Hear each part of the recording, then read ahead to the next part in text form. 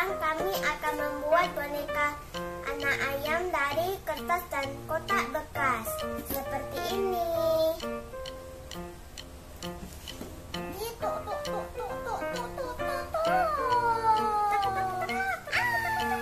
Cara membuatnya yaitu pertama kita harus menggambar pola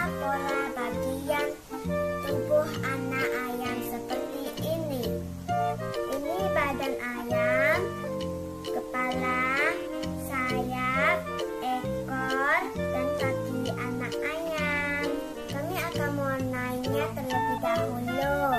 Setelah itu kami akan menggunting pola gambarnya.